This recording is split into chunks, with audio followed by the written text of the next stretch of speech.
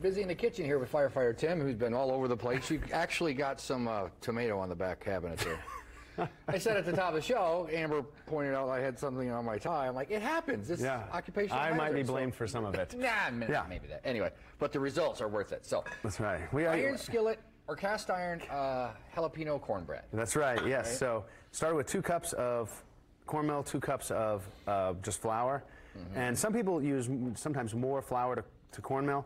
Uh, I'm going to go with a- kind of a, a mix of both. I like them Okay. comboed together. So we'll get those nice and mixed together. Uh, fourth cup sugar. We'll get that mixed. We're going to do all of our dry ingredients here. Right. Uh, two teaspoons salt. Who knew that his palm was exactly a teaspoon? exactly a teaspoon. Uh, that was dead on two teaspoons. so now we're going to get our wet. I've got three eggs in here.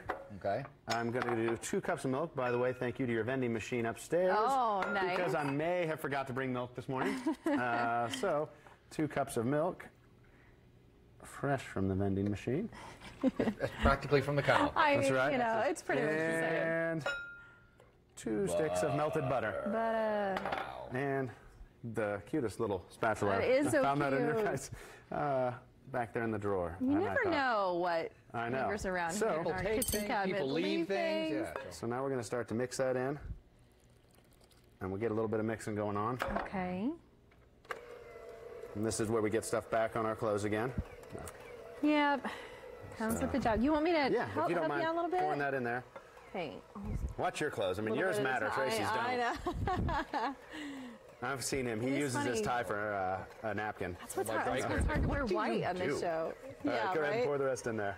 All right, you got it. All right. Okay. Perfect. So we'll get this mixed up.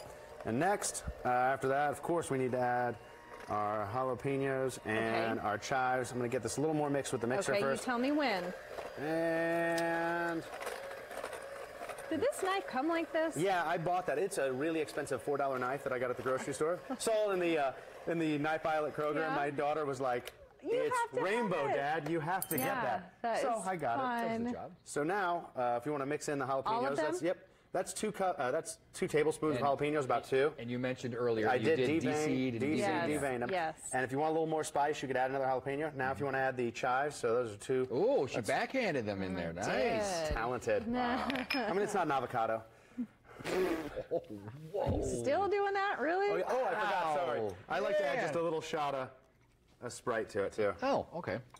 So we add that, and What's now. the Sprite do? Uh, you know, uh, I really wanted. I'll be honest. It was Lent. This seemed like kind of an Irish dish, and I wanted to be able to kind of claim that it's soda bread. Okay. So that's why I added it. so it's All just a personal thing I decided to do uh, to make it like. No ruby red. Nope. Nope, No ruby red just a squirt. Sprite, just a So we're gonna mix in uh, eight ounces of cheddar cheese, and the nice thing is, uh, this little bag of cheddar cheese right there, uh, eight ounces. There you go. So no measurement needed, because you guys know I love to measure. so we'll get that nice and mixed in there, and then right into our cast iron, and at 350, we're gonna mix this. We're gonna put this in the oven at 350, about 30 to 35 minutes, and um, get that in there or until it's golden brown, or you can do what I did. I'll show you, because some people like their cornbread a little more burnt. So, I'll stick this in the oven. But Tim, Tim wanted to please everyone. I wanted to please everybody today, so it was done when I got here, and then I stuck that it. what it was? Yeah, I stuck it in the mm-hmm. oven, and this way. Some people like it a little I more. mean- So this way, Some it's, like it a little it's, more see, done it's than half and half. Yeah. It's if you like the burn top, you can have it, and if you like the unburned top, It's a yin and yang. yeah, it's a yin and yang. So see, it's perfect right down the middle. Right. So for those in your family that want a little more burnt, and those that don't. Like a partial eclipse. Yeah. So.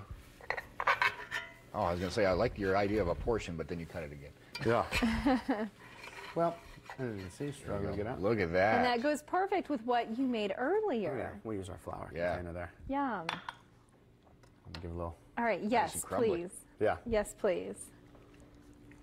Mm. Nailed it again, man. We've got this, the cornbread. We still have drinks. Yeah, we do. We is are You pour the chowder oh, okay. right over. Right over the the top. cornbread. TDStyle.tv, I have the recipe on there a little bit later. We'll be right back.